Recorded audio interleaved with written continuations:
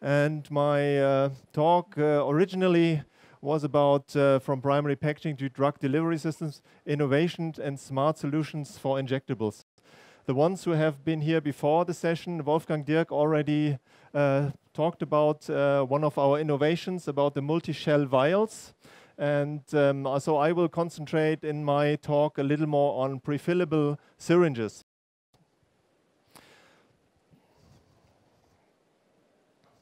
So um, who is Gerresheimer?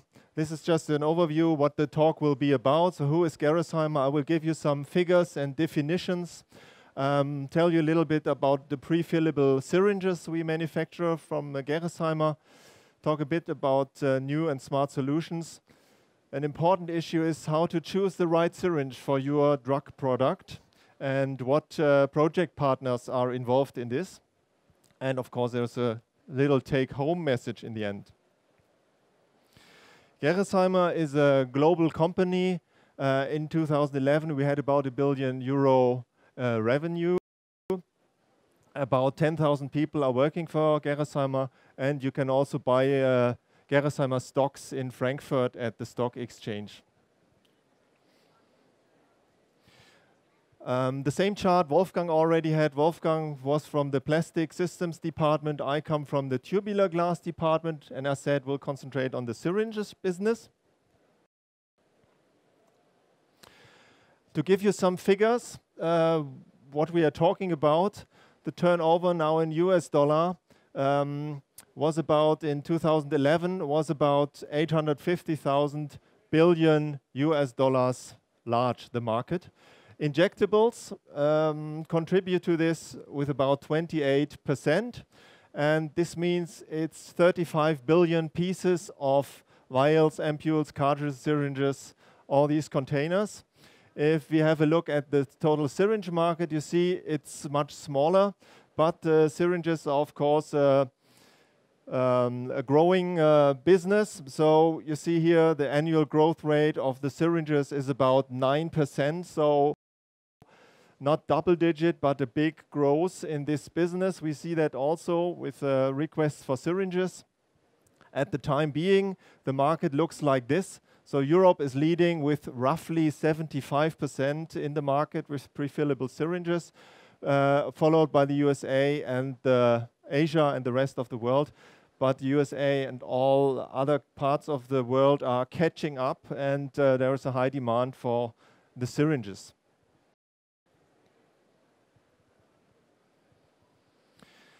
What are the growth drivers? Um, so why are people going for syringes. You have the vials which are established and we have these new developments with vials, uh, multi-shell for instance, but uh, there are quite some growth drivers.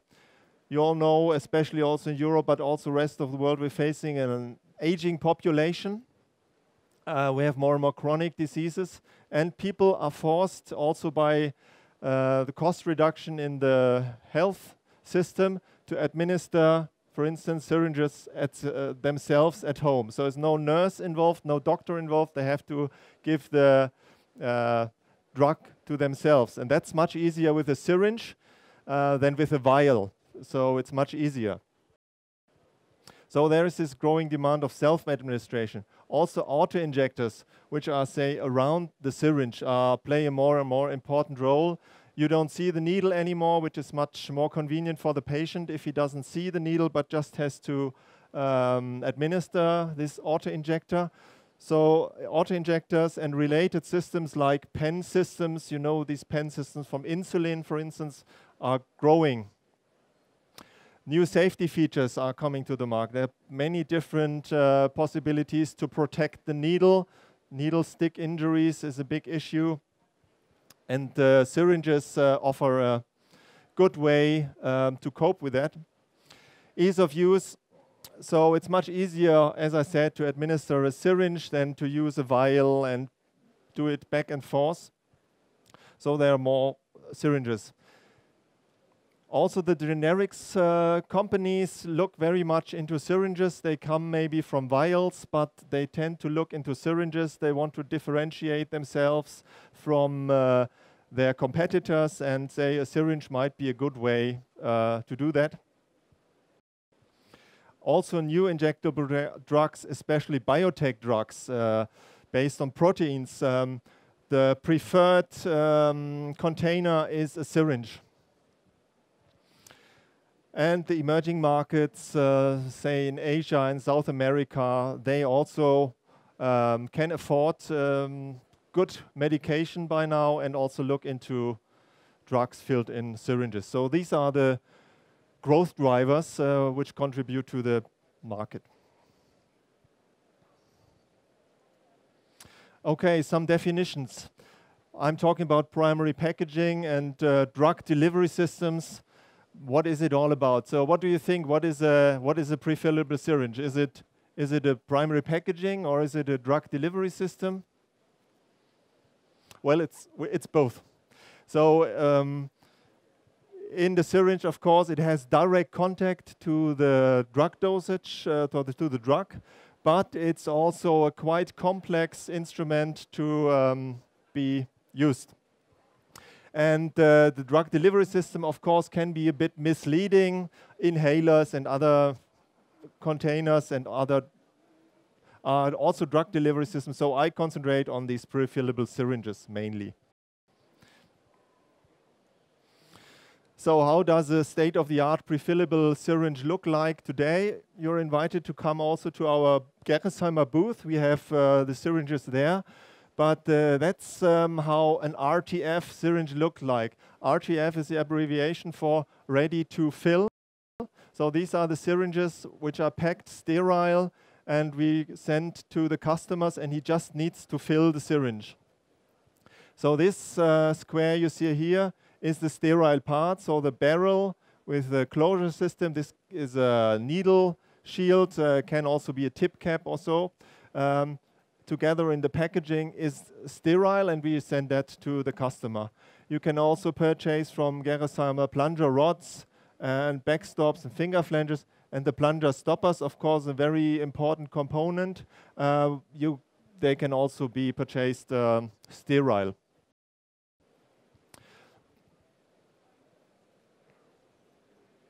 This is our glass production, uh, some pictures look like. So this is the RTF production where the syringes are produced in Bünde in Germany. We have, this is the dedicated uh, site for syringes. This is the line where the glass uh, barrels are formed from glass tubes. So you can call this is the hot end and that's the cold end maybe, just to give you an impression how the factory look like. So RTF, I already mentioned the um, abbreviation. There is definitely a trend towards uh, ready to fill or ready to use components. In the past, uh, Gerresheimer and many other glass suppliers just produced the glass and send it to the pharmaceutical company and they, the pharmaceutical company needed to, to wash and siliconize. Siliconization is uh, mandatory most of the cases uh, to close and to sterilize, and then it would be filled. Nowadays, with the RTF syringes, we offer these steps, the washing, siliconization, putting the closure on top, and sterilization is carried out at our site in Bünde, so that the, the uh, filler or the pharmaceutical company just needs to fill, put the plunger, and to label. And that's definitely also a trend um, we are facing. Okay, let's get into the detail.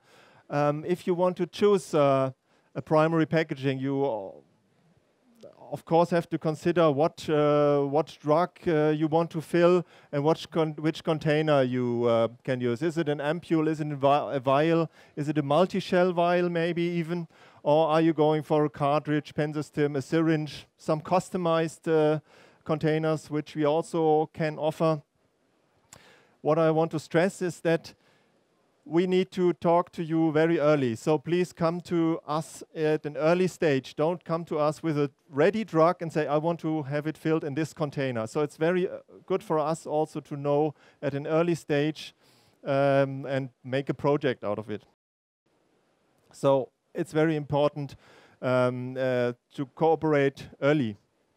So who are the project partners? First of all, it's the drug development. Um, so if you develop a drug, it has to match the primary packaging. Um, it can be different. It can be a new drug you have developed. It can be an existing drug, and in the life cycle management, you maybe say you may say, "I'm changing from a vial to a syringe." You just can't do it from today to tomorrow, but you have to do some project on that. Or if you have in generic, uh, it's also important to cooperate. Another big uh, project partner on the other side is uh, the drug delivery system, which may be around the syringe. The syringe itself is a drug delivery system already, but you can add safety devices. You can add uh, um, auto injectors around. So uh, this is also there is a link between these. Um, you cannot use any syringe, but it has to be adapted specially. This is now a pen system, but it has to be adapted. So these are the questions uh, the, the end users may have. So it has to be safe. It must be easy. Uh, e you can must easily be used. It must be robust, um, and it doesn't uh, need to be painful. Okay, so we see there are steadily increasing requirements towards this syringe. So we're in a squeeze situation. The syringe itself is quite limited in a way, so we cannot reinvent the wheel, but uh, we have this syringe. But uh, questions the drug developers may have is, is stability. Is the drug stable in this syringe? Um, what about the surface adhesion? Do I lose uh, medication, the drug, which is uh, linked to the surface and cannot be administered anymore. Silicon oil is in 99% um, of the cases, or in all cases, we need silicon oil. We can reduce the silicon oil. Um, other questions are reduction of leachables, of tungsten, because uh, in the forming process of the syringes, there is a tungsten pin being used. Um, we can produce also tungsten-free syringes, but this has to be clarified. There is glue when you have a needle, the needle is glued in. So these uh, are the questions especially for highly demanding, very sensitive biological drugs. And on the other hand, with an auto-injector also, with an auto-injector you need very constant gliding forces. You have mostly a spring inside or so, so um, the syringe has to be has to work properly inside. It has to be tested and we need to trim the syringe for this application.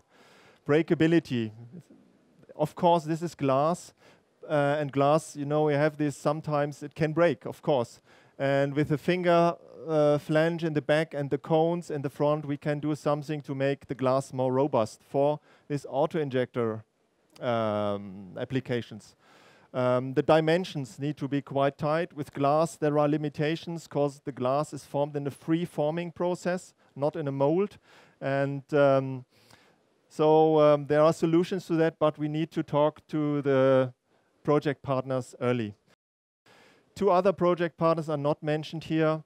It's the um, manufacturers of the, the filling lines of the machines uh, the syringes run on these machines. They have to work on that. And also contract fillers um, need to talk to us. So there are many, many project partners involved. Maybe, of course, from my perspective, with the syringe in the center. Okay, that was already some background on how to choose the right syringe. Uh, I talked about that already. Regulatory requirements are also becoming more and more important. Um, and in the end, it comes to a material selection. And uh, I want to focus a little bit on plastics uh, versus glass. Glass uh, syringes are, in Europe at least, and most parts of the world, are the more than 95% of all syringes, glass syringe, are glass syringes. But um, you should consider also special kinds of plastics. Other important uh, parameters are stopper materials. I come to that. But if you look at glass, which is our main um, material we use. Don't look too much into detail, but glass has some properties uh, or characteristics. And uh, if you take kind of a traffic light approach, you can say glass has advantages and disadvantages. So for instance, glass uh, um, can break. Where is it? I don't have it. Where is it? Here, breakability. Now here. So glass can break, of course, um, and therefore you should think of alternatives. And one alternative can be using a plastic syringe, a so-called COP syringe, a COP material, cyclic olefin polymer. Um, this is a syringe uh, made by our co partner company in Japan, Taisei Kako. It's an alternative maybe to glass in, under certain conditions. So if you have the same, oh, back, the same um, approach with these traffic lights, you can compare the cyclic olefins and the glass, and you see that cyclic olefins may have some advantages, but it has uh, also disadvantages. So the barrier properties are not as good. So you have, if you have a drug, you should consider both glass and plastic, and then in the end find the best solution for your drug. That's what I want to say. Don't look at too much into that details. Yeah, that's one of my favorite charts because I was involved in carrying out a lot of these studies. What we can do at our lab is we can carry out gliding force and uh, um, studies. Um, as I said, especially for auto-injectors, you need very constant gliding forces. And uh, we have the lab equipment to carry out some tests. You can, uh, we have the variables of the amount of silicon oil, mode of application of the stopper, and uh, very important is the coating and the design of the stopper as well. So we have uh, plenty of data available which we can uh, in uh, partly we can share that with you. And um, we can also support the customers with our equipment and do some basic studies. Of course, we do not know exactly which drug you fill, because uh, we only offer the basically the empty syringes, but we can uh, give you some hints and maybe help to choose the right uh, glass container for you.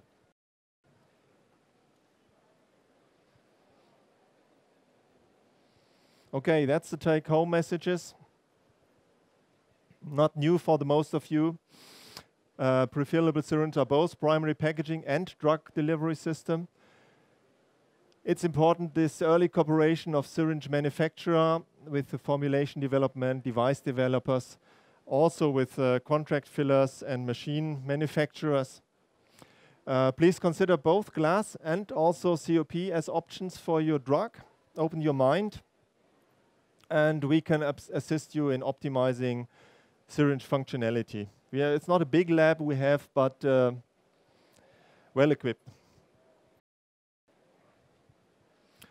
Uh, if you have questions, don't hesitate to contact me. Um, I'm situated in Bünde, which is in Germany, where we manufacture all the syringes. Thank you very much.